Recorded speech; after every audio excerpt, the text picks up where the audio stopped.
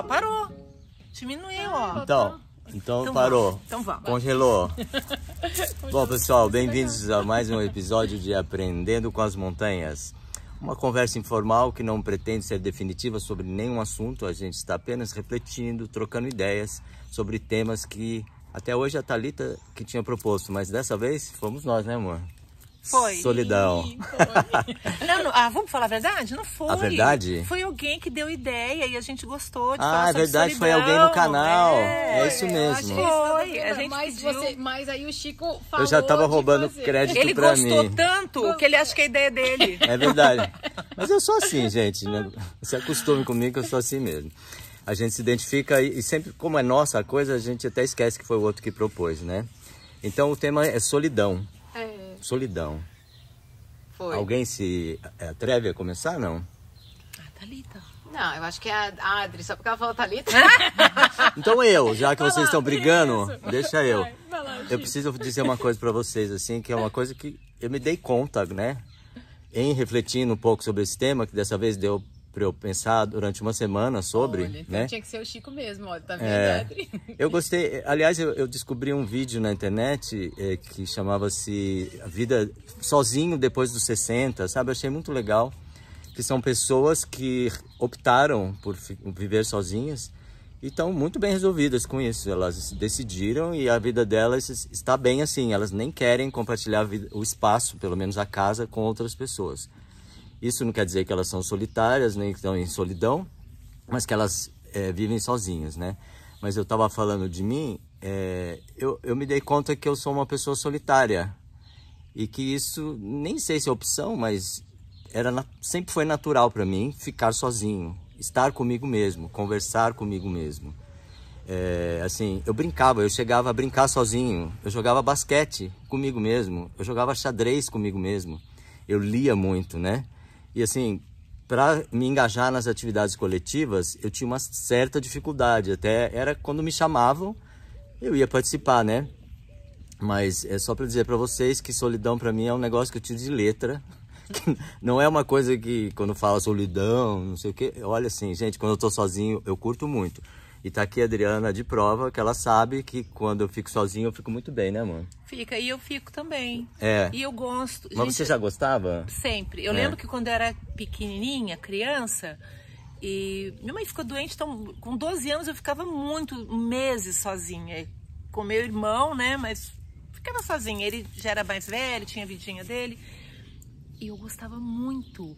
Eu acho que até eu me sentia meio culpada, sabe? Porque ah, meu pai e minha mãe não estavam ali por um motivo complicado, né? Mas a solidão. Se tinha culpado de estar se sentindo bem? É, me sentia culpada de estar me sentindo tão bem É.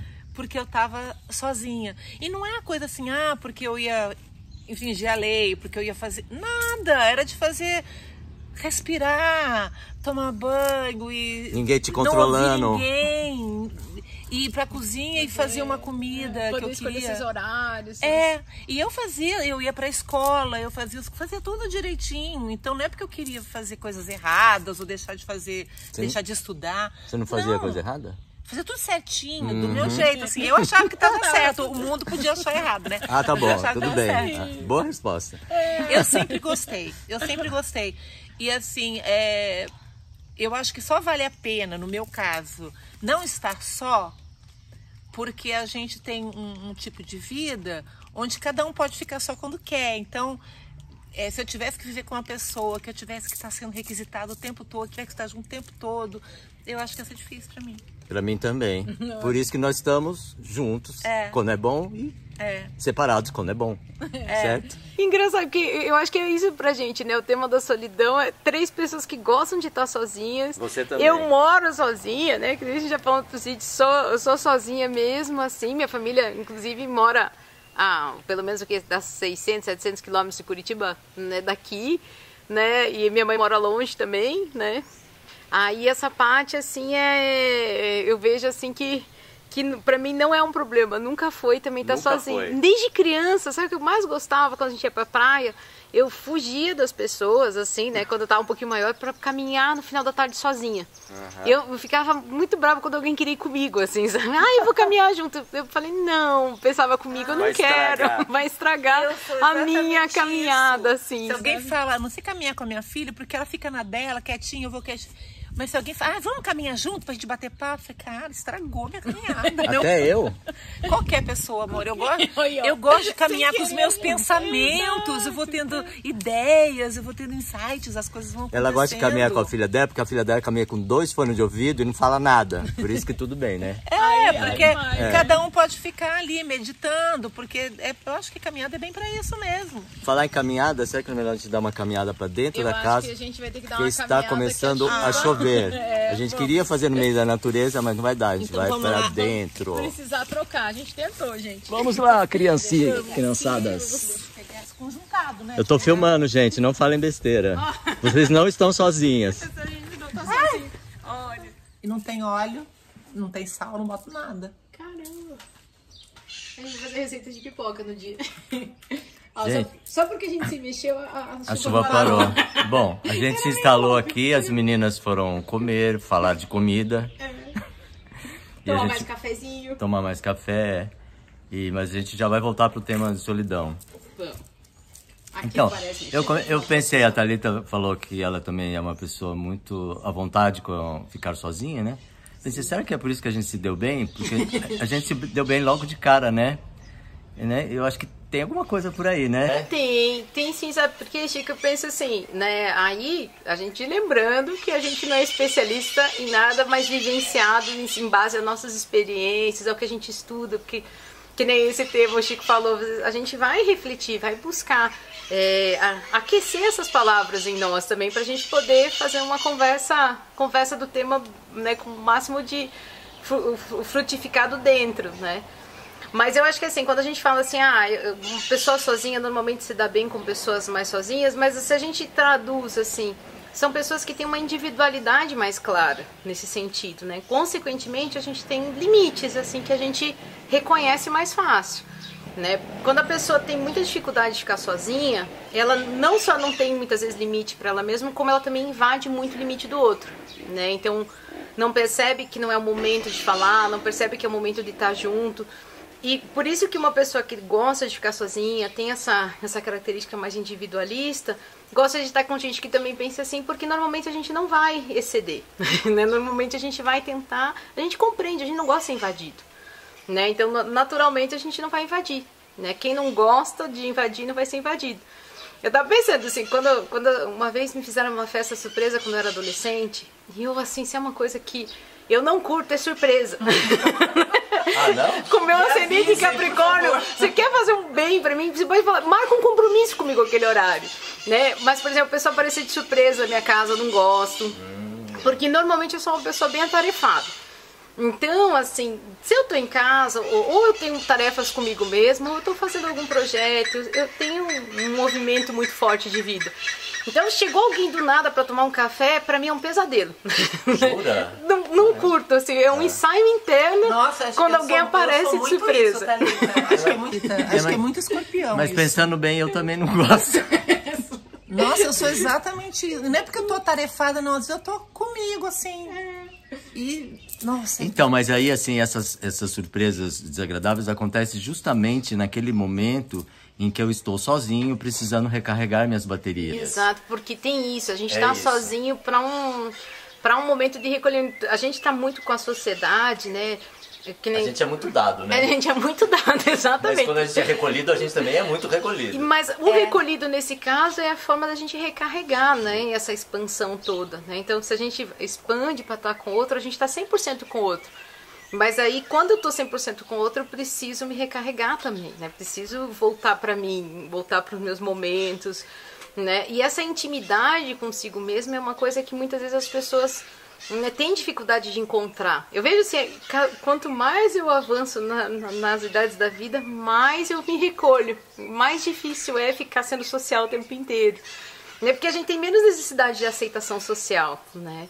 E menos necessidade do social, né? Para mim o social hoje ele é cada vez mais assim, um momento que eu estou fazendo um campo algo, de trabalho. Um campo de trabalho. Para mim o social é, é um campo de, de você, trabalho. Tá Exato. Eu não tenho necessidade de estar com... tanto que os meus primeiros cinco anos em São Francisco, ninguém me conhecia aqui. A pessoa fala, sério que você mora aqui há cinco anos, né? E realmente, a Tati da, né, da Maricana me conhecia. E no, no Pangeia, que eu ia uma vez na, nas quintas-feiras, que era o dia que não tinha turista, não tinha quase ninguém, né? De restante, ninguém me via, assim, eu não, não fazia questão porque eu estava também realmente me interiorizando, realmente aprofundando as minhas questões, assim. Então eu também nunca fazia questão de estar com outro, assim, né? Olha, uma coisa que me ocorreu agora. Em que momento, né, que a gente está é, é, sozinho, né, e que a gente vai em busca do outro, né? Porque você, por exemplo, você tem a sua é, escala de trabalho. Escala, não sei como você fala, né? Minha, minha rotina agenda. de trabalho. Você tem sua agenda, agenda, né? Você é, tem os seus compromissos. Então você sabe quando que você vai em direção ao outro. Eu, mais ou menos, também. É parecido. Eu posso programar um vídeo ou não, né? Então a gente escolhe. Adriana, não sei como que é, eu queria saber de você, porque tem uma hora também, e eu sei disso porque eu morava sozinho durante muitos anos, eu fiquei morando sozinho, durante dias eu ficava, mas tinha uma hora que eu tinha que sair. Às vezes era por causa da comida, mas às vezes era porque assim, ah, eu tô com vontade de conversar com alguém, né? Exato, de estar um pouquinho com o outro, né? É, como é que é para vocês, assim, o momento que vocês decidem sair dessa recarregamento de baterias que inclui estar só? Ah, Adri, agora acho que a Adri então, trazer um pouquinho. É... Eu adoro fazer essas coisas. Eu gosto muito de viajar sozinha. Eu adoro viajar sozinha. Nossa. E não é viajar sozinha para conhecer outras pessoas, não é para ficar sozinha mesmo. E é para sair da rotina. É para andar sozinha na praia, é para sentar num lugar ali, eu ficar lendo, ou ficar pensando, refletindo, meditando e olhar coisas bonitas e, e pensar e comer alguma coisa, mas sozinha. Teve alguns momentos da minha vida que eu até fui fazer cursos, né? Alguns cursos de uma semana, mas na verdade eu não queria o curso, eu queria aqueles momentos de solidão. Uma semana, duas semanas, sabe? eu fazia parte de um, de, um, de um grupo e tinham esses cursos né, em locais do Brasil e eu ia, mas eu, o grande barato para mim era ficar só. É, e eu acho que tem sentido, porque a gente tem necessidade de fazer parte, eu acho que sim, eu faço parte de movimentos, de associações, eu faço parte de coletivos. Faz parte de muitas coisas. Muitos coletivos, não sei assim. tempo para ficar sozinha. É, não, esse então... tempo é tão curto que é suficiente. ele, ele, ele, ele, é, assim, ele é um tempo muito protegido, eu não divulgo ele, né? Ah, assim, ninguém sabe. Ninguém sabe quando que é. Ele é bem, ele realmente é restrito a mim mesma, assim, ninguém sabe se eu tô com, com, com um cliente ou se eu tô tirando um momento para hum. mim. E foi uma sacada que eu descobri aos poucos, assim, sabe? Justamente porque Você eu tá não... confessando em eu não, eu, é, Exato, agora, mas, é, mas vai ficar sempre vai o poder da dúvida dúvida. né? Porque é uma coisa que eu percebi, assim, que, né, como eu gosto de, de, de ir fragmentando um pouquinho a rotina, eu não gosto que as pessoas julguem se eu estou trabalhando ou se eu estou descansando. Então, realmente, meus stories não, não, não, estão sempre conectados ao meu momento, né? Não necessariamente eu estou publicando o que eu estou vivendo naquele minuto, uhum. né? E não necessariamente eu estou tirando folga no domingo, né? Às vezes eu posso estar tirando numa segunda tarde. Mas eu não, não, promovo isso, porque realmente é o meu momento, porque senão você vai ter que responder aqueles stories. Né? então hum. eu prefiro, eu falei, se é o meu momento, às vezes, assim, é muito raro eu querer, no exato momento que eu estou vivendo aquilo, falar daquilo. Sim. Né? Porque eu acho que quando você está colo se colocando pro outro, você vai ter que acolher o outro de alguma forma, né? É, porque você é uma pessoa que responde comentários, né? Nem sempre. eu ah, tento, tá. eu tento. Mas eu achei que você respondeu. Eu respondo, eu, eu, assim, eu procuro responder, mas nem sempre eu alcanço, né? Mas é um WhatsApp que tem mais de 50 mensagens, assim, por dia. Então, eu tenho uma vida que demanda muito, né? Então o que, que eu procuro? Eu procuro recolher os momentos que eu quero para mim mesmo, assim. Mas usar, que é isso que a gente tá falando, por que falar da solidão, né? Quando a pessoa fez o convite e o Chico falou pra gente, vamos falar disso. Que bateu bem também, né? Eu acho que tem, e, e eu acho que é importante a gente falar dos dois lados da solidão, né? Que uma coisa é solidão, a solicitude, e a outra coisa é o isolamento. Sim, porque o que a gente está falando são, são, são, é a solitude. É, tem uma coisa de terminologia escolhas. aí, peraí. É. Porque solitude, pelo que a gente entende, é o voluntário e é o benéfico, bom. E solidão é aquele pesado imposto. Não, imposto não. Não, por isso que eu escolhi no dicionário, gente. Né? Pra gente poder ter uma Não, terminologia eu acho que comum. não é, não é que é imposto, mas é que você Ou que- não gosta. imposto e aceito. Você não gosta, porque e aí a gente também pesquisou e tudo e viu numa poesia, lembra? Que na verdade tem a ver com carência, né? Essa solidão de querer ter gente, ter gente, ter gente, né? Muleta. Na verdade você não tá sozinho, você tá carente. É. Você tá querendo mas, mas aí E no fundo, ainda- sabe essa carência, assim, pegar só o gancho, porque é um gancho importante, sabe, Adri? Assim, quando a gente fala da carência do ser humano, assim, quando a gente fala, nossa, eu tô carente, mas no fundo a carência é de si mesmo. A- Como É. a pessoa ela não consegue muitas vezes conectar dentro, se bastar. Porque É. se bastar, teria que ser o nosso. por- Porque assim, a gente fala assim, ah, a gente tem que estar unido, a gente tem que estar unido como ser humano. Mas para estar unido com outro, você precisa estar primeiro unido Inteiro consigo com você. mesmo, é, né? com certeza. E esse se unir dentro, a gente às vezes não sabe o que fazer com as emoções que não são tão boas. Então aí a gente vai pro outro. Então eu não tô bem, eu vou pro outro porque eu não consigo ficar com aquilo só comigo. então eu vou me distrair disso com o outro, ou eu vou levar pro outro me ajudar a olhar. Claro, não, não isentando o momento que a gente vai tratar disso numa terapia, num, num momento de conversa qualificada. Hoje se fala tanto de, de terapia nesse sentido, por quê? Porque é uma escuta qualificada. É muito diferente a gente levar para um amigo ou levar para um familiar algum problema e levar num espaço para lidar com o problema mesmo, né? De outra forma, né? Sem julgamento. Mas quando a gente vai falar dessa carência, o primeiro lugar da carência é isso, né? Quanto, quanto eu tenho dificuldade de estar comigo? Por que eu tenho essa dificuldade, né? Porque a gente sempre foi para o mundo para fora, né? Então, assim, ah, eu- de criança a gente gostava de aplauso, né? A criança fica toda feliz quando tem um aplauso, um reconhecimento, né? Então, mas olha assim, eu acho que é uma coisa tão mal resolvida, falando de criança, que, por exemplo, eh, as mães, os pais, né, que estão lá criando e educando seus filhos. É uma coisa tão mal resolvida dentro de cada um, essa questão de você se bastar, de você querer estar com você, com seus pensamentos, que se você tem um filho e ele, a seu ver, é muito solitário, ele gosta de brincar sozinho, tá todo mundo brincando, você não vê que ele escolheu tá mais solitário. A gente geralmente fala assim, ah, tá sendo rejeitado, tá doente, isso é doença. A gente nunca vê isso como uma escolha Um natural positivo, né? daquele ser, daquele organismo que funciona melhor assim. E a gente sempre quer corrigir isso como se fosse uma doença. É, E falando- nós três somos pessoas aqui dizendo que não é doença, a gente consegue e precisa disso para ser feliz, né? Então, eu era assim, eu acho que até meus pais, não sei como eles conseguiram respeitar. A minha mãe tentou me botar no judô e eu fui pro escotismo também, mas assim, logo que eu consegui, eu fui saindo dessas atividades, porque não me interessavam essas atividades coletivas, né? E eles respeitaram, não sei como. Agradeço meu pai e minha mãe por isso. É porque a gente tem algumas, algumas coisas que a gente vai chamando de crença também em relação ao individual, que a gente confunde. O que é um individualismo? O indivíduo, né? É um indivíduo. O que que é ser um indivíduo? O que que é ser você? Né? A gente vai falar ah, muitas vezes o que a gente vai ter. A gente até falou isso de, num vídeo, né? A gente se preocupa, ah, eu sou enfermeiro, eu sou médico, eu sou administrador. Não, quem eu sou? Isso é o que você faz Sim. quem você é. Então a gente já começa. Esse eu sou que faz parte do indivíduo, a gente já tem muita dificuldade de, de olhar para esse eu sou. Né? Então, esse é Porque a gente confunde o eu sou do, com o que eu faço. né? Isso é muito legal. A gente consegue responder agora, nesse momento, porque é uma questão importante. Eu acho que, um- que um exercício para você chegar no quem eu sou é como eu, como eu sou. Que, que vai ficando mais claro pra, pra gente quem a gente é. Então, vamos, até pra gente vamos é propor para as difícil, pessoas que né? estão assistindo fazer essa pergunta para si mesmas, né? E assim, tomarem um- uns minutos, né? Fecharem os olhos, respirarem e ver quem eu sou, diferente de é, o que, que eu, eu sou, do faço. que eu faço como trabalho, o, o título que eu tenho, né? Ou, a, ou a linguagem emocional que a gente usa, como eu estou, né, agora. Porque É. a gente tem essas camadas, assim, né? Então vamos brincar disso, É, nós? Porque a gente está é propondo para eles, eu acho que a gente tem que fazer. Eu posso falar. Pode. Eu, eu sou um curioso inveterado que adoro descobrir coisas novas, né?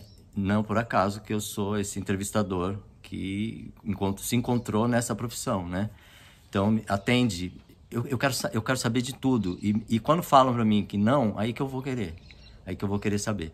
Então eu vou atrás das coisas. E isso me motiva, isso me alimenta, né? Então, isso não tem, eu acho que isso não tem nome, né? Mas eu posso me enquadrar em profissões, em atividades e tal. Mas eu sou essa pessoa que gosta de descobrir o que tem por trás das aparências. Eu sou essa pessoa. Será que eu posso falar? É uma resposta é isso, Thalita? É, porque é, é, um assunto, eu deixei isso ir colocando, é porque a resposta ela não é uma definitiva pela mente. Não é uma resposta objetiva. Não, é, né? Ela vai ter várias camadas e várias nuances, assim. Nas camadas mais profundas a gente entende. Ah, por exemplo, a gente pode, para começar a responder eu sou, é, o que, que eu estou buscando. Né? A gente começa assim, a, a ir de encontro a essa resposta. Né? Por é mais exemplo, ou menos o que eu falei. Né? Exato, a gente se sente. Eu me sinto uma alma buscando a mim mesma e à medida que eu me encontro, eu compartilho. Né? Não com o objetivo que o outro encontre a mesma ah, resposta. Eu também, eu gosto de compartilhar. É. Mas que ele encontre a sua resposta. Fala, olha, eu encontro algumas respostas no meu caminho. Mas eu acho que a jornada da alma, né? A jornada da alma, quando a gente está vivendo, é uma jornada de se encontrar nessa trajetória, né? É uma jornada, ela é coletiva no sentido que um apoia o outro, mas ela é uma jornada individual, né? Cada um tem o seu desafio particular, tem, nasce sozinho e morre sozinho. Por mais que alguém segure na sua mão, né? Mas é assim né? Essa é a, a jornada da nossa vida, ela é uma jornada solitária, que tem essa solitude, assim, né? Mas ela é uma jornada em que se a gente não se busca, a gente também não vai se encontrar, porque a gente se molda com fora. Né? Então, eu me sinto uma buscadora de mim mesma, sim, né? E aonde eu me busco, né? Nas coisas que eu faço, eu vejo se eu sinto, tem sentido, né? Eu sinto o que eu estou fazendo, né? Como eu me, como eu me sinto, né? Aí a gente tem um termômetro de como eu estou, como eu me sinto, né? Que coerência tem o eu fazendo com que eu me sinto expressando eu mesmo, né? é esse se acostumar a sentir a nossa alma no que a gente faz. Você já vê quando uma pessoa está vocacionada, você sente um pouco dela nas coisas que ela faz? Né? e por quê? Porque tem o eu sou ali dentro. Né? Tem ela, tem a jornada dela ali dentro. Né? Os meus vídeos. Exato. Você, né, você sente assim, tem quantos canais de YouTube? Milhares, mas o do Chico é do Chico. Tem minha né? cara, né? Tem a sua cara, tem a sua alma, tem a... quando a gente está fazendo algo que a gente sente que é verdadeiro pra gente, a gente sente a nossa alma naquilo. Né? A gente realmente. E esse, colocar nossa alma no que a gente faz é quando a gente começa a, a, a encontrar esse eu sou mais profundo. Né? Então, porque a gente sente um pouquinho de nós nas coisas. Né? O ambiente que é nosso, uma casa, até quando uma pessoa falece, às vezes, se por um tempo você sente ainda a presença, né? Por quê? Porque tem muito dela naquele lugar, né? Por isso que a casa de uma pessoa, o quarto de uma pessoa é um lugar tão com tanta expressão própria. Nunca, nunca, nunca um vai ser igual do outro, né? É. Porque tem muito dela, né? E de diversas camadas dela, né? Então, desde as camadas mais externas até a camada mais interna, né? Ali tem essas verdades que o Chico fala, né? O quarto de uma pessoa é um lugar mais privado mesmo. Né? Eu, eu não gosto que qualquer um entre no meu quarto, não. É. Não é por causa que tá bagunça, não é por nada, não. Mas é uma coisa que eu gosto de preservar. Você vai querer falar quem não sei ou não? Vai, vai pular essa questão. Tem direito a pular três. essa, essa, é uma. Gente, eu, eu, não gosto de fechar questões Ela sobre não mim. é objetiva. De resposta. forma alguma, eu não gosto de fechar questões. Então, eu, mas, eu não, não é essa coisa, eu sou isso, eu mas sou brinca assim. de dizer eu sou. Amor, mas eu tô respondendo. Ah, desculpa. Eu sou uma pessoa que não fecha questão, que eu me permito mudar. Sabe a Sim. coisa do eu prefiro ser Sim. essa metamorfose ambulante? Eu me sinto uma metamorfose ambulante. não se definir nos passos. É, porque se eu ficar me definindo, eu vou estar tá mentindo, porque a hora que eu acabo de falar, eu já posso ter mudado. E eu me sinto assim uma metamorfose ambulante. É, tem, e tem liberdade, tanto na, na, definição, desde que a gente não se, se prenda, porque às vezes a gente se prende, em, e também aí tem uma coisinha assim também que é uma armadilha boa pra gente mesmo tem quem a gente é e quem a gente gostaria de ser. Isso que eu ia falar agora, assim, como que a gente gosta de ser visto. É. Exato. E a gente, aí tem um auto engano muito importante que só na solidão a gente consegue trabalhar. Mas não é só como a gente gosta de ser visto. Como a gente eu, acha eu que tenho é. propósitos. Gente... Eu tenho propósitos de coisas que eu quero acessar e atingir em mim, são meus propósitos, né? E não é porque eu quero aparecer isso, é porque eu quero acessar Sim, mas, isso. mas também tem aquele como eu gosto de ser visto. Eu tenho isso aí, eu tenho que admitir que eu tenho. Ah, você E- tem muito. Você tem pra caramba. Leão, leão, leão. Ah, e, e tem, por exemplo, tem, tem o nosso papel, o nosso fazer da sociedade, eu também, né? Eu também tenho coisas que eu gosto que as pessoas reconheçam, validem a, a- visão que eu quero que elas tenham de mim. Né? Uma pessoa responsável, uma pessoa tarefada. Por incrível que pareça, é, é exatamente o que, é o que eu quero que elas vejam. né? então, é meio que Você tá conseguindo, um então, feedback, né? Thalita? É. um feedback desse lugar. Mas tem um lugar da solidão que é importante, assim, que, por exemplo, a gente se sente tão conectado aos outros, mas eu acho que a pandemia também trouxe algo muito valoroso que foi eh, no lugar do isolamento. Esse, esse lugar das pessoas, por exemplo, que nem eu. Eu não viajei para Curitiba durante. Eu fui viajar para Curitiba agora mês passado.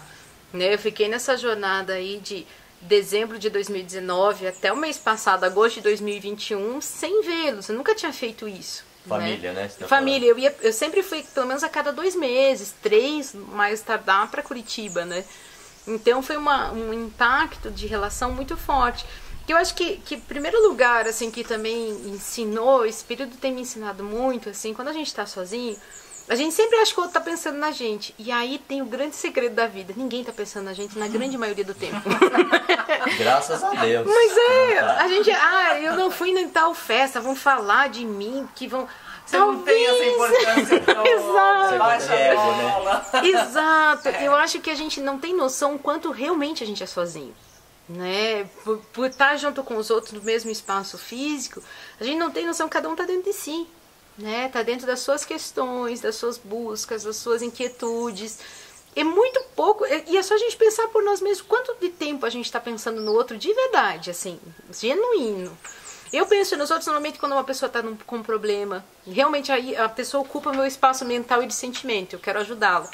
Então muito, muitas vezes as pessoas assim que estão na minha vida, eu tô mais com elas nos momentos difíceis. Eu trago ela muito para eu ficar pensando como é que eu posso ajudar, como é que eu posso cuidar, como é que tá essa situação. Então eu acabo eu, eu acabo compartilhando muito mais esses momentos porque eu acho que também é um pouco do meu lugar, que nem o Chico falava, de cura na vida, né? Então eu tô muito com o outro nesse momento. Mas eu tenho que estar inteira para poder estar com o outro aí. Sim. Só que isso me fez ver que realmente as pessoas não ficam, né? E tá tudo bem, porque a gente também não é assim, né? Eu, eu, eu, quantos WhatsApp eu escrevi, e aí, tá tudo bem e tal? É raríssimo, não é muito meu estilo. E eu, de repente, a pessoa me vem em mente, eu vou escrever um WhatsApp pra ela. Eu É vou- sinal, né? é um sinal. É. Então, meu radar na vida ele é muito assim. Eu não fico estabelecendo vínculos ao acaso, sem profundidade ou sem ter motivo. Salvo que o Chico falou, de repente, daquele momentinho, vontade de compartilhar um café, assim, vontade de fazer uma coisa do nada, né? Mas isso faz da solidão um lugar muito poderoso, assim, né? Nesse sentido. Porque aí você tá com o outro quando o outro precisa, você tá consigo mesmo se olhando, né? Esse, esse buscador de si na vida, né? Então, puxa vida, como é que eu vou pro mundo sempre, né? Ou às vezes um assunto me afetou, eu falei, por que, que tá me incomodando isso daqui, né? Aí você faz aquela autoanálise, né?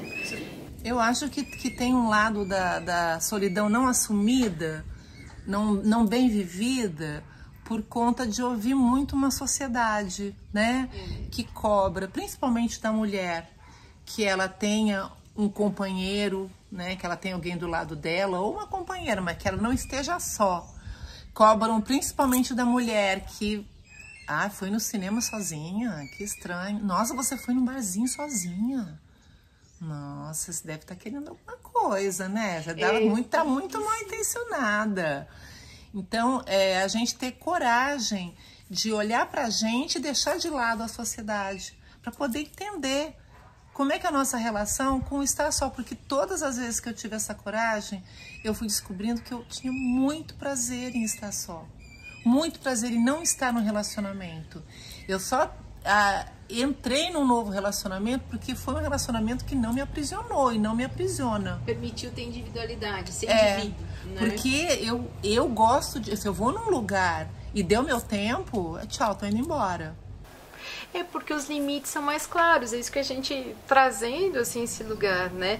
Eu, eu tava até, até a gente comentando antes do vídeo, né? Esse daí o Natal do ano passado eu tive essa experiência de e eu sou uma pessoa que eu curto o Natal, eu curto esse momento, como eu vejo pouco a minha família, então você acaba valorizando. Eu acho que se eu visse todo mundo todo domingo, eu não teria essa esse lugar com o Natal. Né? Mas eu curto, eu realmente entro no espírito do momento, assim, não o espírito do consumismo em si, né, dos presentes, dessas coisas, mas eu acho que para além disso, aquela história do, do, bom velhinho de Natal, ela tem um, uma simbologia por trás de fraternidade forte. Né? E, eu, e aí a história né, dele, a história desse senhor do mundo, essas coisas assim, para mim fazem sentido. Né? E, e e, e, eu me permito vi, vibrar aí, né? Nesse lo, local de união, nesse lugar assim. E aí, como eu não pude ir pra lugar nenhum, né? Eu basei e falei, nossa, eu vou passar meu Natal em casa mesmo, é isso aí, né? né? Vou ficar mesmo. Eu cheguei a comprar uma passagem para Curitiba, mas aí tava naquele momento muito alto da pandemia. É. Eu remarquei, eu falei, vou ter que remarcar. Mas eu senti, eu realmente senti.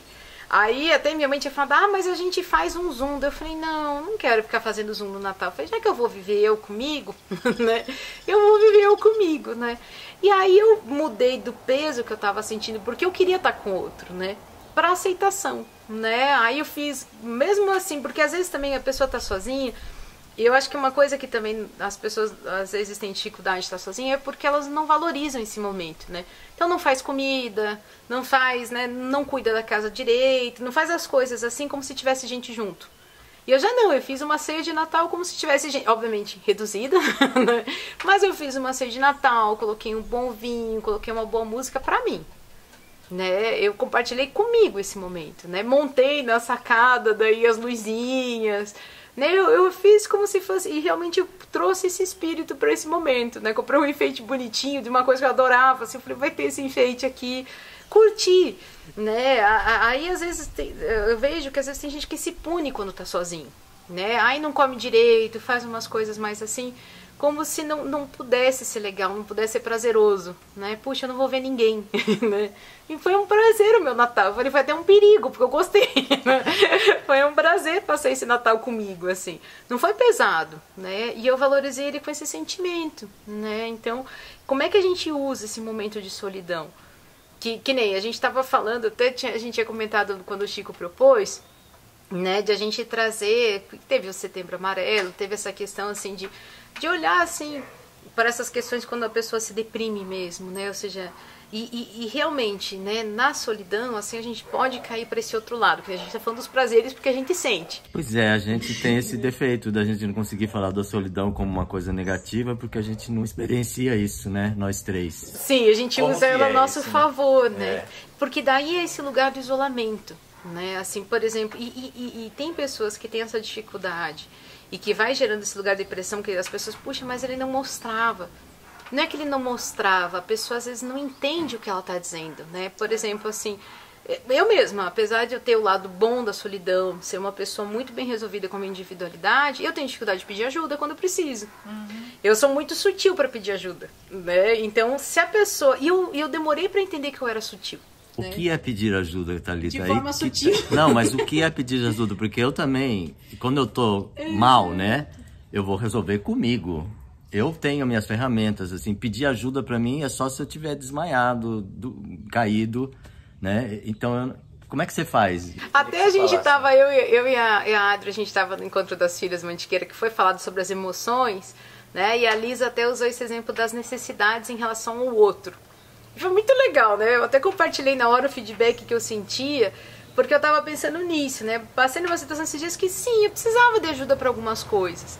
Mas era tão difícil para mim pedir ajuda pro outro, que eu falei, nossa, que, que interessante, né? Mas ao mesmo tempo eu fui vendo por que, que eu tinha dificuldade de pedir ajuda pro outro. Porque aí nesse, nesse exercício que a gente fez, é porque talvez assim o que eu esteja querendo pedir pro outro não seja bem o que eu queira mesmo, assim. A gente usa umas respostas meio prontas assim da sociedade. Ah, eu quero que o outro escute isso. Porque senão vai boicotar a sua ilusão de autossuficiência, Exato. detonar. É, eu, até eu acho que nesse caso eu não soube ser clara, né? Eu não soube ser objetiva. Eu usei muita subjetividade e normalmente a pessoa, né, quando ela entra num lugar de isolamento, que não é o caso, né, mas assim, ela vai, ela vai por esse tipo de diálogo. Ela é muito subjetiva na necessidade de pedir ajuda. Os sinais são muito, muito discretos. Né? Muito discretos, as pessoas não entendem bem. Né? Porque até se você fala assim, puxa, né? Você fala assim, ah, tá tudo bem, Adri. Você fala, tá bem, não, tô triste. normalmente você não sabe o que fazer com essa informação. É, você já- opa, então a conversa vai continuar Aí você fica lado. desconfortável. Entrou. O que, que, que, que eu, eu vejo por mim, assim, é, eu sempre tive dificuldade de, de pedir ajuda. É, Mas eu sempre me coloquei na vida, assim, as coisas foram acontecendo e eu fui assumindo uma posição masculina. Eu sou a provedora, eu sou a mãe solo, eu, eu que cuido, eu que dou conta, eu não vou chorar, eu vou resolver, eu vou, vou lá brigar com quem quis bater no meu filho, eu vou, sabe? Então, eu sou a que vou resolver. Eu não posso pedir ajuda, porque se eu for pedir ajuda, eu vou ver que eu também sou frágil. Eu não quero ver que eu sou frágil, então eu não vou pedir ajuda. Eu não vou nem olhar pra isso. E você vê como a gente põe o feminino num lugar de fragilidade, né? Porque é isso que você tá falando, assim, né? A- Então, o feminino é frágil e precisa de ajuda, o masculino não. Ele é um sozinho, autossuficiente, então a gente estereotipou demais. E aí, quando a gente usa muito a energia masculina em nós mesmas, assim, se a gente vai pro feminino, então no feminino eu sou social, no masculino eu sou individual. Cadê o, o- social do masculino e o individual do feminino? Que a gente não precisaria se masculinizar né, no feminino se a gente entender da nossa individualidade com as nossas características, né? Mais assim, ma- mais de, de, de nutrir o ambiente. Mas, mas eu acho que a energia feminina e a energia masculina, elas têm um- uma diferença e que elas harmonizadas num só ser, elas vão te dar o equilíbrio, né? E eu vivi momentos da minha vida que essa energia feminina não estava harmonizada e que a masculina ficou lá em cima. potencializada, Né? Isso né? não tem a ver com, com o sexo, tem a ver com a, Atitude. eu, eu é que sou forte, eu vou cuidar, né? E aí a doçura, aquela coisa que tem, o masculino e o feminino precisam estar ali unidos. O feminino, por exemplo, se a gente vai falar dessa individualidade com a gente mesmo, sendo uma energia feminina, o que, que é essa energia feminina como característica? Não é estereotipando corpos, né? Energias dentro de nós que temos as duas, né? Mas quando a gente fala do feminino, a gente está falando do lugar de união. O feminino ela tem essa essa força mesmo dessa capacidade de amor, dessa de cultivar, porque começa desde a geração de uma vida em si, né? Você vê no feminino a força de dar vida nos ambientes, né? Como o masculino tem uma força estruturante muito forte, né? É um muito nosso racional, é o nosso planejamento, o dar conta. Mas um feminino que consegue ter essa individualidade, ele ama a si mesmo. Ele começa também com esse lugar de ser gentil consigo. Às vezes, assim, né, em certos artigos, estudos, às vezes eu vejo assim, por exemplo, a mãe que foi muito doadora e se anulou, né? Não, não só em artigo, não é tão distante assim, né? Em conversas, principalmente nas filhas, muitas vezes, assim. A mãe que, assim, por exemplo, ela teve o primeiro filho, a partir daquele momento ela já não trabalhou mais, ela fez as escolhas de se dedicar à família. Só que o problema é que a família daqui a 15, 16, 17 anos começa, né, a- ela fica continua em casa, que foi escolha. E o que ela faz, né? Ela teve, né, no caso, a conversa que a gente estava tendo, a pessoa teve essa consciência que daí a mãe começou a cobrar. Não, agora fica comigo também. né? Porque ela não tinha o lugar dela, ela, ela realmente abriu mão desse lugar para estar com o outro. Ou às vezes não cobra, mas entra num sofrimento muito grande. eu presenciei isso de amigas minhas, assim, queridas, né? Que eu vi crescer os filhos e que entrou, não cobrava dos filhos, mas, Mas dentro processo de dela, falou assim, poxa vida, eu me entreguei tanto. Aquela coisa assim, que é uma mãe cria dois, é, dez filhos e dez filhos não cuidam da mãe, né? Exato. Né, esse negócio? Entra num processo de sofrimento. E é um, e é um sofrimento por quê? Porque ela não, não, não, não conseguiu ao mesmo tempo ter, né? Não é um julgamento assim, no sentido o se se é certo ou se é errado, mas por não ter conseguido ter os seus momentos, às vezes continuado o seu florescimento como indivíduo, então ela não consegue ser um indivíduo, né? Então, assim, eu sou a mãe, daqui a pouco eu sou a avó. Ela parou para seguir esse processo de gestar, de, de, de É, porque você é a mãe, para. mas você é a Adri, mas você é a profissional, você é várias eus, né? Nesse Mas sentido. assim, sempre acho que é importante lembrar que não importa a idade, essa mãe que parou para criar esses filhos, ela pode, continuar, ela pode seguir em frente, redescobrir caminhos, né? Tem até uma pessoa num, num trabalho, a gente estava conversando disso. Eu falei, olha, você pode voltar daqui a seis meses, né? E, e aí foi uma conversa interessante, porque ela falou assim, é, eu, eu prefiro tentar voltar por- porque eu não quero desconectar do que eu tô descobrindo de mim profissional, né? Porque ela falou, claro, falei, olha, se você não quiser, tá tudo certo, né? Mas às vezes é a chance de talvez não romper nesse Essa momento. é a moça que teve neném que não É, compete, isso. Ah. Aí a- a- acaba que assim, pode ser que no momento você fale assim, não, esses primeiros anos eu quero estar, essa é a minha escolha, né? Eu vou, vou fornecer o máximo de, de condições de segurança emocional, de segurança para a criança, né? E depois eu, eu, eu pego o meu caminho de novo, né? Mas tem que ser muito consciente esses processos de escolhas, né? E não moldado de fora. Que é isso que a gente falava, o Natal às vezes é moldado de fora. A gente tem que estar com a família. No domingo a gente tem que estar junto. Eu acho que assim, qual é o sentimento que está movendo esse tem que, né? Assim, porque eu quero estar junto, né? Eu quero realmente estar com a minha família. E por que, que eu não quero estar também, né? Porque essa solidão em conjunto, ela existe também, né? Essa solidão em conjunto, assim, esse isolamento em conjunto, aonde está o muro do isolamento em conjunto? Justamente nessa falta de entendimento do outro. A gente não enxerga o outro. É que nem falar pra vocês, né? Se eu, se eu olhasse para um lado meu, assim, quando eu precisei de ajuda e, e eu vi que as pessoas não entenderam, né? Eu poderia olhar, nossa, eu ajudo tanta gente, eu faço tanta coisa quando eu preciso, ninguém, ninguém tá aqui. Mas, assim, até que ponto realmente eu queria uma ajuda e até que ponto eu fui clara no que eu pedi, né? Aí eu, eu, eu falei, não, eu acho que eu não fui clara.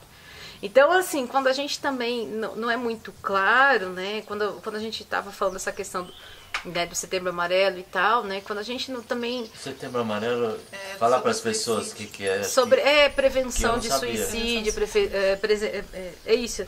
Que, claro, a gente não é especialista na área, mas o, o- a solidão e o isolamento, eles, eles tendem a, a- a fortalecer esse tipo de, de, de sofrimento até, né? Porque a pessoa está passando por um sofrimento muito intenso. No sofrimento muito intenso, às, vezes as pessoas se isolam, né? E usam... O problema desse isolamento é que elas usam o machucado como muro. Então, se você põe o machucado como muro, as pessoas vão bater sempre no machucado, né? E o que reafirma a necessidade de isolamento, né? Esse é o problema das pessoas quando, quando assim, elas precisam de ajuda e não, não permitem que o outro acesse para ajudar a curar. Né? Então eu não permito que o outro acesse, vira o machucado para fora e, claro, as pessoas vão bater nele, não protege. Na solidão, quando a gente vê que as coisas não estão legal, o que a gente faz? A gente protege os nossos machucados, vai se recolher para se reorganizar. Então, quando a pessoa está indo por um caminho que vai dificultar, ela vai fazer o movimento contrário. Eu vou usar isso, mas eu vou reafirmar o tempo inteiro que as pessoas estão me machucando, não me compreendem, a sociedade não consegue curar minha dor. Mas é porque ela fez isso, ela está usando o machucado para escudá-la. E aí onde a gente entra também né, em certas faces nossas, que muitas vezes, por que, que a gente não quer ser individual? Que a gente confunde um pouquinho com o egoísmo. Que o egoísmo é querer tudo para si.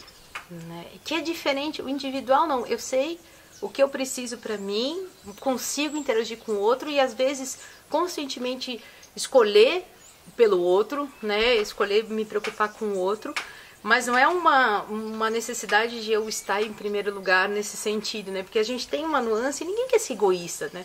Você quer se você treinando como uma pessoa egoísta, né? É um tipo de título que a gente, eu pelo menos, não gostaria de ter, né? E o individualismo, assim, ele é um lugar de definição própria, né? Não, não, não é um lugar de a gente ser egoísta, assim, ah, eu em primeiro lugar, mas no sentido assim, ah, só tem um bife e temos em três, eu vou garantir. o meu, se lasquem. né? Não é necessário. E esse é o egoísmo. É, o individual é a gente, puxa, tem um bife, eu tô com vontade, será que eu vou comprar outra coisa para mim? Será que a gente divide em três, vou conversar com eles? Eu sei o que eu quero, mas eu considero que tem outros na minha volta. Né? Então são, são essas nuances, assim, né? Muitas vezes a pessoa é julgada como egoísta porque ela se dá o direito de fazer escolhas, né? Vamos fazer tal coisa? Ah, não, obrigada, mas hoje eu quero fazer outra coisa. Nossa, como você é egoísta, podia estar junto com a gente, que não sei o que, só pensa em você. Não, aí não é uma situação de egoísmo, né? É uma questão da pessoa se dar o direito de fazer aquilo que ela tem vontade de fazer. Vai ler um livro, vai no cinema, vai numa boate, vai sei lá onde, né? É, e quanto mais critério próprio, mais a gente escuta o nosso próprio coração, mais ele fala. Mais a gente está com o outro no momento de qualidade, né? É, quando a gente sai do tem que estar tá com outro. eu tenho que estar tá em sociedade. Não, eu vou estar tá naturalmente, a gente não está isolado, né? Mas quanto mais individual, sabe que eu olhava as montanhas nesses cinco anos que eu mal interagi com a nossa comunidade, eu olhava muito a montanha de frente de casa, né? Porque eu acho uma montanha muito Você imponente. sempre morou nesse Ali em Santa lugar. Bárbara, Ah. isso. E aí, assim, é, quando eu olhava aquela montanha, para mim ela é o exemplo de solidão, de solitude, assim. Porque elas são imponentes, são, entre aspas, solitárias, né? Mas elas são elas, né? Assim, eu tinha essa necessidade de reconhecer qual é esse meu lugar, que eu sou eu, né? Não tenho dúvida de mim, né? E não preciso que alguém me reafirme, né? Eu consigo me afirmar em mim mesma. Por assim, isso que nós estamos aprendendo com as montanhas. Ah, é, Não é? verdade. É verdade, é verdade, gente. Ué, você tinha esquecido? Eu pensei que você tinha falado de propósito. A gente não combinou antes? Mas é. Ô, ô, gente, eu queria falar uma coisa, deixei vocês falarem muito. Várias vezes eu pensei Verdade. sei de interromper, mas eu achei que estava fluindo legal o papo de vocês. Eu me lembrei que eu sou uma pessoa que não gosta de sair, gosta de ir em festa. Mas quando eu saio, daí eu en- engato na festa. Isso já me foi observado por diversas pessoas que eles falam, pô, mas daí você não gosta, mas quando você tá lá, você não quer sair, né? É uma coisa interessante. Porque já que eu tô, então vamos tirar o melhor da coisa, né? Parece que é alguma coisa desse jeito. E eu me pego assim, às vezes, de manhã em casa, assim, puxa vida, hoje eu não queria sair para ir filmar, né? Mas é, é difícil saber, assim, eu devo ir, eu devo cancelar, né? E eu acabo sempre indo. E acaba sempre sendo bom. Porque mexe comigo de uma maneira que jamais seria mexido se eu estivesse sozinho. Porque se eu já não estava bem lá sozinho, o contato com o outro tem uma magia, que eu não sei qual é, que acontece, que acaba sendo legal. Eu, eu não sei se em que nível que a coisa é trabalhada, eu não sei como que acontece, mas eu fico melhor quando eu volto. Sempre fico melhor. E eu não sei, você quer explicar, ô filósofo? Você está fazendo assim com a cabeça? Não, mas é, não, é, é um sentimento mesmo, assim, porque isso que você falou é tão importante, Chico, porque qual é o momento de estar com o outro que você estava falando antes, né? Eu senti isso em você, eu sempre sinto, às Você vezes. sente- as- você eu- hoje eu senti bem a tua resistência, assim. E é um momento que a gente, Quando a gente chegou aqui, Em vários momentos, assim, mas é uma coisa que a gente respeita. são fogo É, a gente respeita, assim, porque é aí que tá o respeitar o outro. E falar, não, e às vezes é isso, a gente sabe que vai transformar, né? Se eu não tivesse, talvez, na mesma condição, dois ou três na mesma condição, a gente não transforma o que, a energia. Mas às vezes, assim, um- ontem um amigo estava falando isso, eu achei tão interessante. Ele falou que ele estava saindo de, de um evento e ele estava incomodado, ele estava incomodado com as formas de pensamento dele. Até tinha um professor que ontem ele falou um negócio que, que, que para mim fez muito sentido. Ele estava falando sobre a mente, né? Que a mente nossa, ela tem, a gente tem uma força de ideias circulares, que pode ser tanto destrutiva, a gente reafirmar coisas que nos deixam mal, como ela reforça propósito. Então, se a gente usa essas ideias circulares que ficam voltando para reafirmar propósito, nos impulsiona, é, motiva a ação, né? Por isso motivar a ação, né? Mas se a gente usa como reforço negativo, a gente pode inclusive se destruir, né? É mais um muro pro muro de ferida para como que faz para você perceber esse pensamento circular? por todos os nossos pensamentos eles têm uma característica circular, Tem que né? uma eles reforçam. boa, né, Você tem que saber o que, que ele está reforçando. E, Na e- primeira você tem que capturar o pensamento, Tem você tem que que olhar. perceber o que você está pensando, que às vezes a pessoa não tá, ela tá num, num negócio que o próximo ela nem lembra dos outros que ela teve. ela não observa os próprios pensamentos. Isso, a é. gente se identifica, mas não observa. É, isso aí. Né? a gente deixa acontecer, né? Deixa acontecer na nossa mente, às vezes externaliza assim no, numa, numa, numa conversa, ou às vezes até no- nas próprias redes sociais, e aquilo tudo que a gente externaliza potencializa. E às vezes a gente, a gente tem que também ter essa sabedoria. 2021. Tudo que a gente externaliza, potencializa. Eita. Isso com, com as redes sociais é Então, bombástico. exato, a gente vai. Mas trazendo isso dessa potência interna, então, de repente a gente está numa energia assim, né? Daí esse meu amigo estava falando isso, ele estava num momento assim que ele não estava conseguindo digerir, que tem ah, eu quero ficar sozinho, mas eu não tô legal, né? Então eu fico, fico meio assim. Aí uma pessoa falou: "Antes de você ir, posso só te dar um abraço?" Ele falou que ele foi outra pessoa para casa. né? então, assim, né? E aí ele falou que isso aconteceu há uns cinco anos, ele nunca esqueceu. A força que tem o outro na nossa vida. Então, eu preciso falar uma coisa também. Às vezes eu não tô legal, eu saio de casa, eu vou. Geralmente é num comércio que isso acontece. O balconista, a balconista me atende bem, o dia passa. Dali, dali em diante o dia passa a ser maravilhoso. Porque ele me deu um sorriso, ele me deu um bom dia de verdade, ele me jogou uma energia boa e eu recebi. Isso é uma simples atitude que a gente faz. E, e, e porque o, o se importar com o outro é momentos. Né? No momento eu me importo com o outro, assim, né? E aí você fala, olha, eu me importo com você. Isso eu, às vezes. valor. Exato. Porque o se importar não significa que você está 100% com atenção para a pessoa o tempo inteiro. Mas você se importa. Mas né? naquele momento você Naquele tá. momento você tá. Né? Naquele momento você está vendo aquela pessoa. Porque parece que a gente vive pelo mundo como muitos invisíveis, né? Nós somos invisíveis Muito uns aos solitários outros. mesmo, É. assim, né? E quando uma pessoa tem uma atitude dessa, é como se ela fala, olha, eu tô vendo você. Exato. né? Eu tô vendo você. Eu falava. e, e respeitar esses momentos, e que nem esse do Chico, ah, puxa, quando eu tô com outra. E isso, isso que eu acho que quem, quem é um sozinho positivo, quando tá com outro, busca justamente circular essa energia, né? Então, que energia eu tô levando pro coletivo? Né? Ou quando eu tô mal, eu, eu consigo chegar no coletivo e de repente ficar alegre, né? E tem umas amigas que, assim, fa- adoram fazer uma festinha. Quando vou numa festa delas, assim, a gente se diverte pra caramba, assim, né? Se diverte no coletivo, nos momentos solidários do coletivo também, quando a gente se une pela dor do outro, né? Quando respeita a dor, né? Que nem fala pra vocês, né? Às vezes até entrevista de trabalho. Se eu sei que a pessoa não tá legal, né? De verdade, eu não vou defini-la por esse momento. A gente não pode definir o ser humano por um momento, né? Mas ao mesmo tempo são os momentos que transformam a nossa vida, né? Então, ah, quando eu, quando eu convido a alegria, tem uma, uma professora de yoga que ela fala isso assim, né? Quando eu convido a alegria para entrar na minha vida. Então a gente sabe transformar nossos humores, sabe transformar nossa energia. E às vezes a gente precisa do outro. Né? Quem tem animal de estimação sabe, né? Você tá lá, borocochô, é o momento que o cachorro vem e faz uma palhaçada. ele vai, aí que ele parece um palhaço. Você fala, não, brincadeira que esse cachorro tá sendo um palhaço hoje. Tá. Também a gente não pode ir se isolando demais por causa disso. Assim, querendo ou não, o nosso exercício, nessa, por mais que sejamos almas individuais vivendo, nascendo de certa forma sozinho, morrendo sozinho, existem mãos no nosso caminho o tempo inteiro, amparando o nascimento, muitas vezes amparando o momento de ida, né? Então, assim, se a gente confia nessa ligação da vida, né, em vários planos, inclusive, no fundo a gente nunca está sozinho. Né? Se a gente está em casa sozinho, tô, as minhas plantas estão comigo. Né? Quem tem bichinho, o bichinho está contigo. Aquela casa, aquele ambiente está contigo. Então, a gente falar assim que está totalmente sozinho não, não é Não tão existe, verdadeiro. não então, acho que até as pessoas que têm esses momentos muito difíceis, que se sentem sozinhas, não se sentem no fundo compreendidas. Mas é isso, põe umas barreiras que às vezes nem elas estão vendo, né? Então, às vezes está passando por um sofrimento tão grande, não sabe sair, mas eu armo o meu sofrimento para não deixar o outro chegar, né? Então, porque eu preciso corroborar esse lugar, né? E aí, sim, por isso que falo, tem certos tipos de situação emocional que a gente entra, esses muros que a gente constrói, que nem a gente sabe dissolver. Né, proteções, às vezes a pessoa foi muito machucada, aí precisa da habilidade profissional. Por isso que a gente fala assim, ah, a pessoa precisa de terapia. Precisa, mas é num lugar mais respeitoso.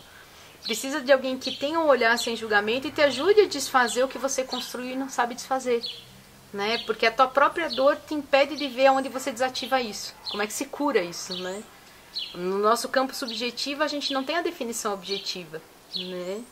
Por isso que a gente não sabe falar, ah, eu sou isso. Não tem um título, não é tão objetivo. Não, a gente é. está sempre construindo e descobrindo, né? É, essa coisa da solidão, eu fico pensando assim, eu se eu tô comigo, eu não tô sozinha. Então essa palavra não, não funciona aí. Quem, se eu me sentir sozinha, é porque eu me perdi de mim. Porque eu não tô me encontrando. E aí eu preciso de ajuda. De alguma forma de ajuda que eu não tô conseguindo resolver. Mas se eu estou vivendo comigo, eu não estou só. Começa nesse lugar, É. né? Ah, e até e, e- isso que você falou foi quando eu usei, quando eu precisei de ajuda e eu percebi que eu não me comuniquei direito, eu fui pra mim, comigo mesma. Eu falei, tá, o que, que aconteceu? Você não se comunicou com o outro. O outro, coitado, nem sabe. Ou no fundo até você não queria, talvez. Talvez você queria lidar com isso com você mesmo, assim. Você não queria tanto lidar com o outro, assim, né? Então é isso. Mas primeiro é, esteja consigo. E pra estar consigo, às vezes é difícil porque a gente se julga muito, né? Então eu tenho medo do que eu encontro, né? Mas eu também não sei a, a potência que tem quando o que você encontra, Dali, né? eu, eu fico imaginando assim, ou você, ou eu, ou o Chico, a gente conversando com a gente mesmo. Então, na verdade, eu tenho essa impressão que às vezes tem várias pessoas aqui conversando, né? Várias camadas é da difícil gente, né? sentir solidão assim, porque é uma loucura, né? Um falando, um aconselhando, um botando fogo, outro calma. E percebendo que nem quando o Chico chegou, eu percebi mesmo, assim, eu falei, ele tá desconfortável, ou foi o horário, né? Ou foi a gente sempre fazendo no mesmo lugar, que às vezes o Chico se preocupa em trazer o retrato da vida, mas aí eu pensei assim, não, não justifica nada dentro e deixa acontecer. Porque você não sabe como tá o outro dentro. A gente percebe uma energia e às vezes a nossa melhor ação, e isso eu tô percebendo agora, né? É a gente não influenciar. Né? Deixa, dá espaço pro outro, né? Você tá de olho no outro, mas você dá Às espaço. vezes a melhor atitude é nenhuma atitude. É, é um né? respeito ao É outro. Você não interfere pra. Ah, eu vou deixar o Chico do jeito que eu quero que ele fique. Não. eu tenho que respeitar o jeito que ele tá. Mas você sabe o que eu tô pensando quando você falou que eu cheguei? Eu, não, eu, não, eu acho que eu não tava esquisito, não. Eu tava muito preocupado se a gente ia conseguir fazer fora ou dentro e como ia ser barulho, muito sol, se chover. Era mais isso. Por isso que eu não podia definir. Eu, eu tentei É. definir, mas eu segurei. Mas não era aquele momento assim de eu não queria estar aqui, entendeu? Não, porque É, nossas conversas com a, com a condição do tempo. É. E acabou que a gente podia ter feito lá, né? podia ter ficado Porque lá, né? Não choveu. Choveu um. Nossa, Choveu nada. De nada. Que nem molhou, né? E aí, mas já falamos o suficiente? Alguém gostaria de colocar mais alguma coisa? E, e eu- acho que aquele exemplo que a gente compartilhou, assim, daquele senhor, né? Agora eu não me lembro de onde ele era, mas era um senhor, acho que na Itália, né? É, muito legal. Até falei pro meu filho ler, passei o artigo pra ele. Que É, legal. até a gente pode deixar o artigo no link Vamos desse, né? link.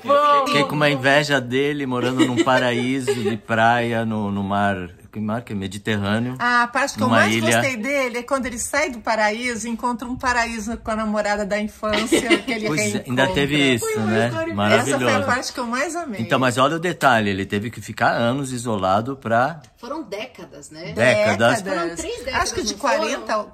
40 a 80, ou de... Foi 30 ou 40 anos, foi É. bastante tempo, não foi pouco tempo que ele ficou sozinho, foi Sim, 30 ou foi 40 muito anos. tempo e lutando para defender aquele espaço, sendo expulso praticamente dali, porque era uma área de preservação, né? Ambiental, exato. E aí é incrível que a hora que ele.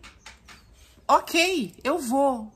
E aí o mundo abriu de uma forma para ele. Ele não quer voltar de jeito nenhum, ele quer voltar para passear, porque ele tá desfrutando outros prazeres, né? Aos 80 e poucos anos. É, é, eu acho que a gente, contextualizando ele, é isso, né? Ele foi- escolheu ir morar com 30 e poucos anos, acho que foi, ele escolheu por morar sozinho numa ilha, né? Então ele ajudar, ele era um guardião da ilha, por assim dizer. Pouquíssimo alimento. Esqueceu de voltar, né? E, e não voltou, exato. Ficou morando lá. Então, pouquíssimas relações, até só que ele tinha conflito por ser uma área de proteção ambiental, não queriam permitir que ele residisse ali. Até que, por fim, ele largou essa vida e foi morar na fim, depois cidade. de Por 40 fim, 40 anos, né? de décadas, né? Comendo, às vezes, quando as pessoas passavam por lá e deixavam alguma coisa, então ele comia pouquíssimo, sem variedade nenhuma, era só realmente para sobreviver a alimentação dele. É, Não, e é legal que cada um de vocês ia um ponto, assim, né? Eu, eu, eu, assim, se eu falo desse artigo, a gente vai deixar o link para cada um ler e tirar suas próprias reflexões, né? Mas o que eu vejo de valor foi isso. Ele, para mim, o que marcou foi ele ter vivido as duas experiências de forma inteira, né? Então, ou seja, ele viveu esses anos ele não, porque às vezes a gente para viver uma experiência a gente renega a outra. Né? Então a pessoa, eu vejo muito pessoal que vem morar aqui em São Francisco. Então fala mal de São Paulo, fala mal da vida da cidade, fala mal dos trabalhos que tinha. A gente renega um eu para viver o novo eu. Né? E eu acho que o grande Esquece aprendizado que da teve vida que passar por que é um aquele outro. contínuo. Exato, né? é um contínuo vai- e vai ele te pode ser prazeroso, pro- exato. Gente, e Cada um deles é pensando, prazeroso. É um homem de mais de 80 anos, vivendo a vida intensamente, com amor, com a, com a namorada, né? Que agora é uma vovozinha, né? Junto com ele. Se dando o, o, o, o prazer de experimentar um monte de pratos que ele passou 40 anos comendo o- o- menos que o básico, só para sobrevivência. E antenado na internet, fazendo vídeos e postando um monte de coisas, e cercado de jovens que estão admirando, e o cara tá em plena vida. E, mas ele estava em plena vida antes também. Sim. Que eu acho que esse, esse é o grande segredo. A gente sempre está em plena vida. Né? A gente, Ou a sempre- gente sempre pode estar em Pô, plena vida, exato. né? Sempre tem essa possibilidade, né? que quanto mais a gente tem essa consciência que vem, não, não adianta, a consciência da- de eu sou vem do cultivo da solitude interior. Não tem como. A gente cultiva a si mesmo sozinho. Quando ele solta, né? Porque ele não queria soltar, né? Que ele queria ficar ali. Mas quando a gente solta aquilo que não nos pertence mais e abre os braços né? e aceita e a vida vem. Agora, se a gente fica naquele, não, então minha vida acabou, porque eu só quero isso. Se está me sendo me tirado, minha vida acabou, não tem sentido. Aí a vida acaba mesmo, né? E no, e no fundo esse é o conceito de oportunidade. A gente vai recebendo chamados, né? E os chamados que a gente nega para reafirmar o que a gente está vivendo, às vezes a gente não se sente pronto, mas se a gente nega muito chamado importante, o que a gente está vivendo começa, a gente começa a perder o sentido. Então, quando começa a perder sentido e a gente se percebe jogando os chamados para fora, é um momento de buscar dentro o que está acontecendo, né? Como é que eu me lanço a oportunidade? Porque te- teve o chamado da vida para ele, né?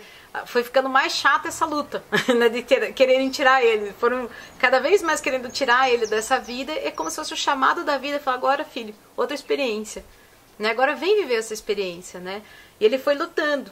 Né? Aqui, assim, aconteceu agora esse ano, porque aumentou muito o aluguel em São Francisco, então muita gente que morava aqui era feliz, não conseguiu mais espaço de vida para continuar morando em São Francisco, né? Que ficou muito caro, né? Nem todo mundo veio com condições financeiras boas o suficientes para continuar com essa vida. E aí a pessoa, puxa vida, né? Vou ter que ir, ir para um outro chamado. Mas às vezes é um chamado. Às vezes pode ser uma oportunidade com muito certeza. legal. Exato, para uma nova experiência que não anula essa, que não anula a anterior em São Paulo, onde foi, né? Ah, isso eu acho sempre, Thalita. Acho que a vida é perfeita em, em todas essas situações, sabe? Você fala pra mim assim, namorado vai. Cara, é porque vem coisa maravilhosa por aí. Confia, né? Confia. E eu acho que de mensagem geral, final, Chico, meu meu sentimento, né? Sentindo que a gente está finalizando, eu penso nisso, assim, que a gente nunca, num sentimento que a gente, no fundo, nunca tá sozinho, né? Assim, quem, quem por exemplo, é, acredita de, de Deus, deuses, de alguma forma, né? ne- ne- Nessa vida que transcende, Esses principalmente já tenho estão, certeza né? que não estão, mas mesmo aqueles que são um pouco mais céticos para isso, você tem uma planta em casa, né? Você tem um animalzinho em casa, você tem a própria casa, né? Você não tem você mesmo. Você tem e, em primeiro lugar você tem você mesmo. Então, quando a gente é, é, isso que a Adri falou, eu acho importante reforçar no final, né? Quando a gente fica com esse sentimento sozinho, a gente perdeu a, a si mesmo. Né? Eu acho que isso para mim é uma mensagem rica ali. Eu acho importante deixar também a mensagem assim é que se você consegue se olhar e encontrar motivos legais para sua vida sozinha, que bom. Se você está vivendo em sofrimento e não está conseguindo achar caminhos, procura ajuda.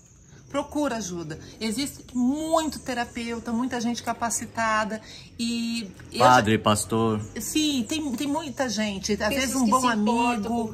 é, verdade. Não fique sozinho, não tenha vergonha de pedir ajuda, né? Tenha humildade de pedir ajuda Também. e acredite que você merece ajuda.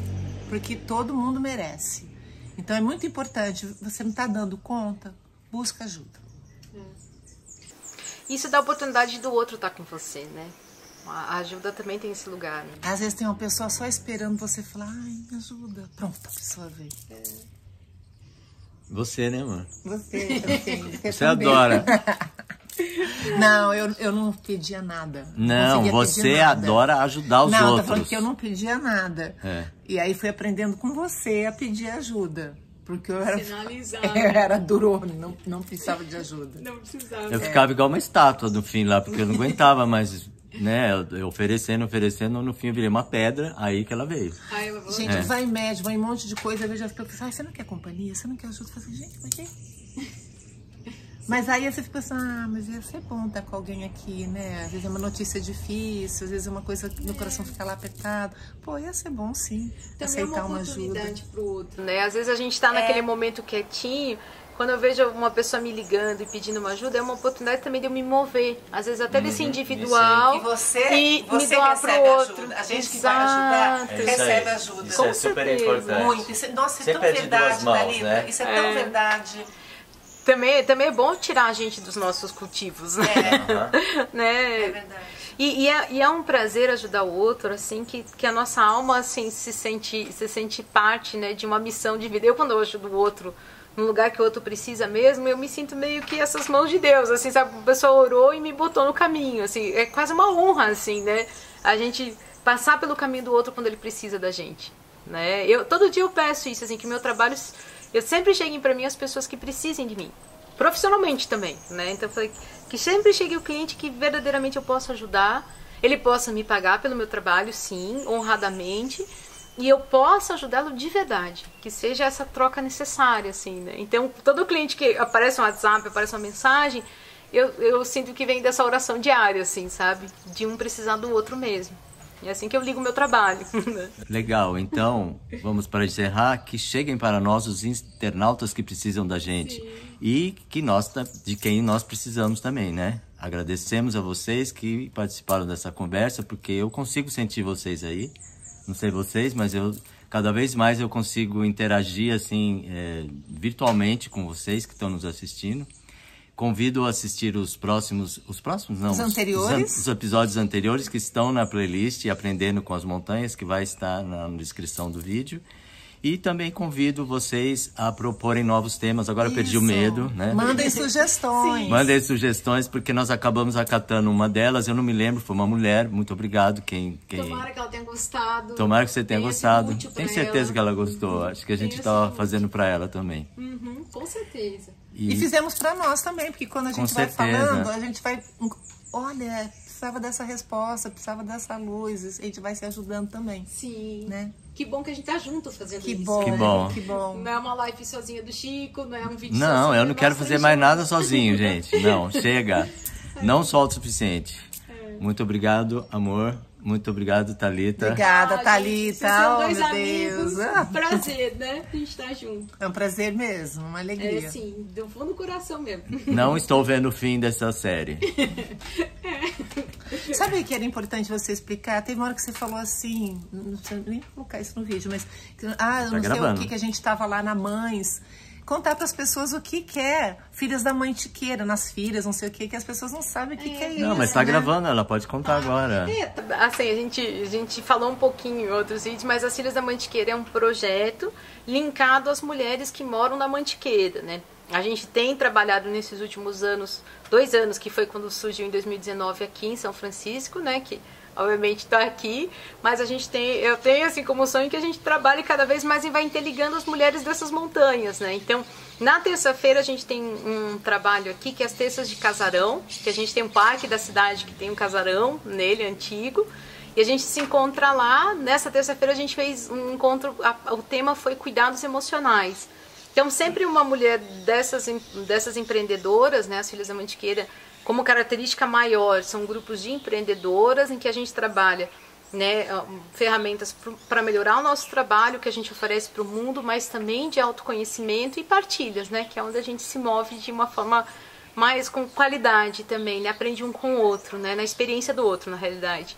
E aí, na terça-feira, a gente estava trabalhando cuidados emocionais. A Lisa Nunes, que é psicóloga na Somaterapia, esse espaço que a gente está novamente, ela fez, fez uma oferta de trabalho linkado aos cuidados emocionais. E a Eliana Correia facilitou uma dança, dança circular também com esse tema, né?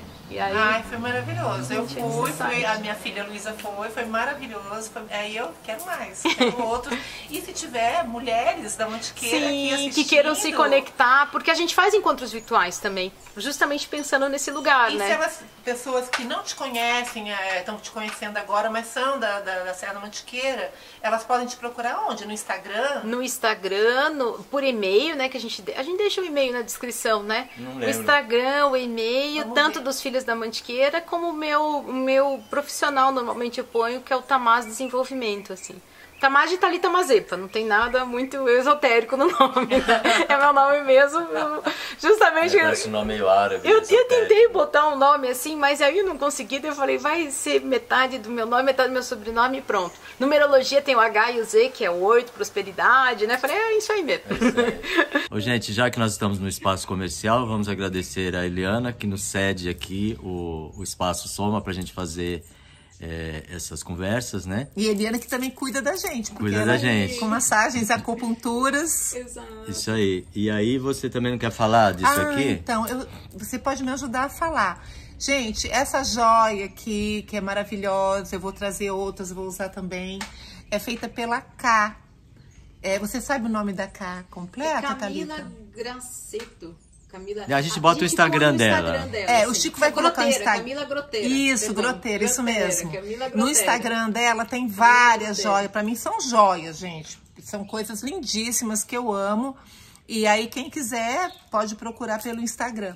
É uma pessoa linda, uma pessoa bonita de alma e que, se Deus quiser, o Chico ainda vai entrevistar pra vocês. Vó, e a gente não tá fazendo merchan, é, viu, gente? Ela nem sabe. Ela nem sabe. Ela nem- A gente não sabe. faz esse tipo de coisa. Ela nem sabe, mas eu fiquei tão apaixonada, tão encantada, não só pela joia, mas pelo ser que ela é. Que ajuda o outro, né? Tá com o outro, É. ajudando o outro em comunidade, em trabalhos, Isso. com os bichos também, né? Isso, ela é, é uma apaixonada pelos animais, a venda do, das joias, boa parte é encaminhada para a causa dos bichinhos, dos animais. Então é uma pessoa que vale a pena a gente adquirir Divulgar. e adquirir um trabalho dela. É, todo o trabalho dela é feito com muito carinho, né? Se vê a intenção que ela E é põe. bonito, né, gente? É. É bonito. Vocês vão ver os outros lá no Instagram, tem coisas belíssimas. Acabamos? Acabamos. Até a próxima!